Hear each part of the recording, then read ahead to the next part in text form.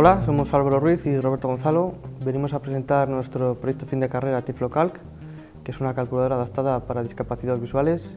Es compatible con lector de pantalla JAWS y línea braille. Vamos a hacer una pequeña demostración para ver cómo funciona nuestra aplicación. Escritorio, presentación en lista, local, 8 de 15, para situarse en elemento Bueno, para iniciar la aplicación, lo primero que hay que hacer es instalar la base de datos, en la cual se van a almacenar los usuarios y puede ser de dos tipos, en modo local o en un servidor. Nosotros para hacer esta demostración vamos a instalarlo en, en modo local.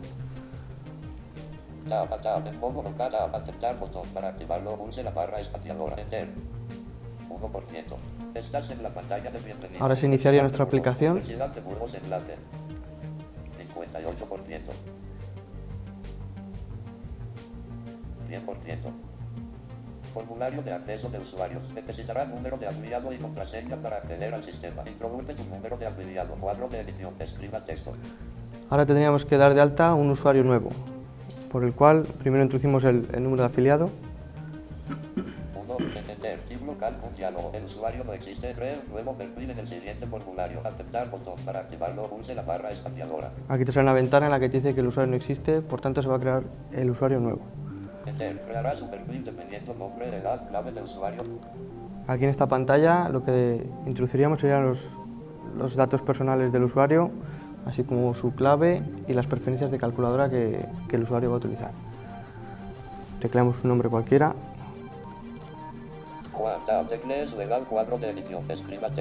de la edad, 23. Una clave de usuario. Asterisco, asterisco, asterisco. Tab, re- la clave de usuario, eh, todos los lectores de pantalla eh, reconocen que es un, un campo de texto de, de clave, por tanto viene cifrada con asterisco. asterisco, asterisco, Deficiencia visual, cogemos visual La parcial o total, en este caso elegiríamos eh, parcial,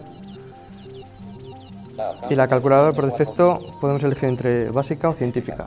En este caso elegimos científica. Tab, tab, siguiente potente. Formulario de elección de colores para En esta parte de la aplicación lo que elegimos es la combinación de colores para distintas pantallas eh, y teclas. Sí, azul claro. Tab, color fuente botón, cual de naranja. Tab, cuadro combinado, cero, cero elemento. Tab, color fondo de N, N, cero. Tab, color texto display, cuadro combinado, cero, A, A, A, amarillo. Tab, color texto etiquetas, cuadro combinado, blanco, cero elementos. Para Ah. seleccionar otro elemento. Aquí en esta parte podíamos previsualizar antes de, de aceptar eh, la apariencia y el aspecto de la calculadora, elegir color. colores por defecto. Cuando la persona, cuando el usuario eh, tiene una deficiencia visual total. Y ya entraríamos en lo que es nuestra calculadora. En este punto eh, la aplicación crea una carpeta donde guardaríamos los ejercicios creados eh, para luego poderles ver eh, y usarlos con el lector de pantalla. Enter. Formulario de elección de colores para. Esta sería lo que es la aplicación central, que es la calculadora, en la que se pueden realizar todas las operaciones, tanto trigonométricas, exponenciales, logarítmicas, etc. Y en la parte superior tenemos un menú que nos dejaría modificar el perfil del alumno, un acceso a profesores para poder ver los alumnos, eh, distintos ejercicios y demás. Y una pequeña ayuda que nos muestra las teclas de acceso rápido para navegar por distintas partes de la calculadora y los datos de, lo- de la aplicación. Haremos si quieres una, unas pequeñas ¿no, operaciones, tú si quieres.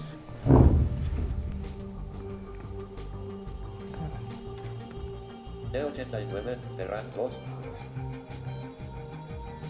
89, más, 34, enter, Arriba, sí. 100, Vale, sí.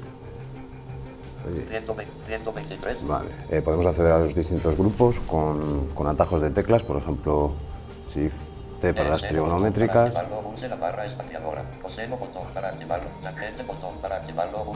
Eh, elevar al Espaciales. cuadrado, botón. Elevar al número, botón para elevar al cuadrado. Enter. Estas en el display. Vale, de pues edición solo de 1, 5, 1, 5, 1, 2, 9.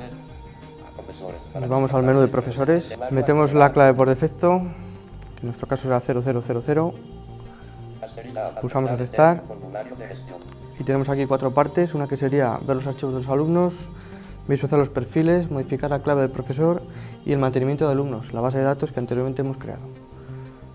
Entramos en archivos de alumnos y nos sale aquí un explorador en el cual tendríamos los alumnos Cuadro de lista. Juan 1. y las operaciones que han creado los alumnos. El archivo de texto generado por la aplicación tenemos los cálculos realizados y los cuales, eh, activado el lector de pantalla, les puede empezar a leer. 89 más 34 igual 123. Al saltar de línea Bar cuadrado a 123. 15, va cambiando lo que va diciendo el lector de pantalla y a la vez va cambiando los puntos de la línea braille.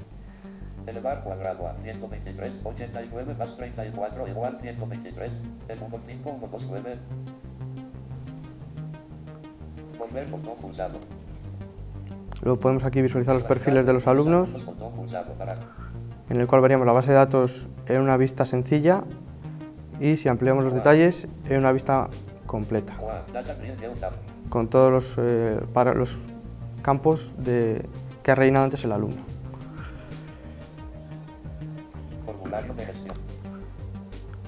Aquí haríamos el mantenimiento de alumnos, en el cual podríamos eh, darles de alta o cambiar alguno de los parámetros eh, por parte del profesor.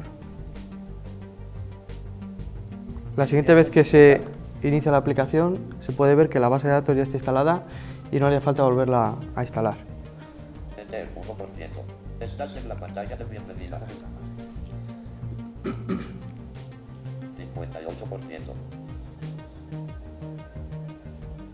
100%.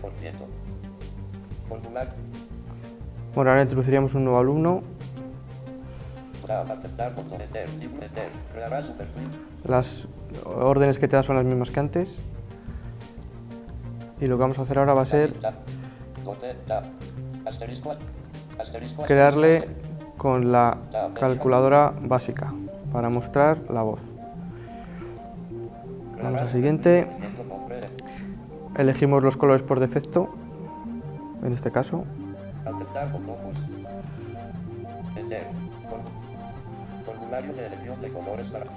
Vale, aquí tenemos la calculadora básica. En esta se pueden hacer las operaciones básicas que no tiene la otra calculadora, o sea, ausencia de trigonométricas, exponenciales, etcétera, y tiene la opción de calculadora vocal, que se controlaría pues, eh, con el micrófono del, del ordenador. Activaríamos la calculadora vocal. Te informa de que tienes que utilizar auriculares.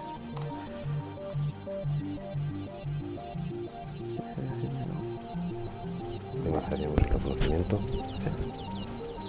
8, 4, 5, más, 1, 3, calcular, Detener 858. nueva operación, Calculadora por 5, para activarlo. 5, barra espacial. 4, por, 3, calcular, Cuadro de 1662.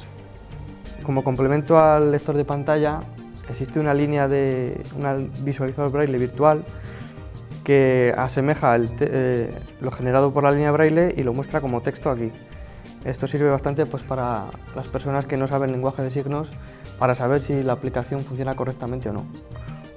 Como se puede ver, arriba te pone introduce número de afiliado y aquí en braille eh, muestra la equivalencia. Si yo te- eh, tecleo el número de afiliado, por ejemplo,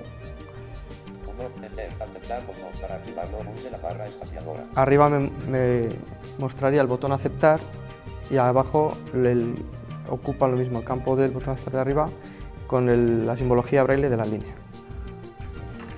Bueno, como información adicional eh, disponemos de un tríptico en el cual vienen nuestros datos personales, nuestra dirección de correo y una dirección web de, donde está toda la información relacionada con- con este proyecto.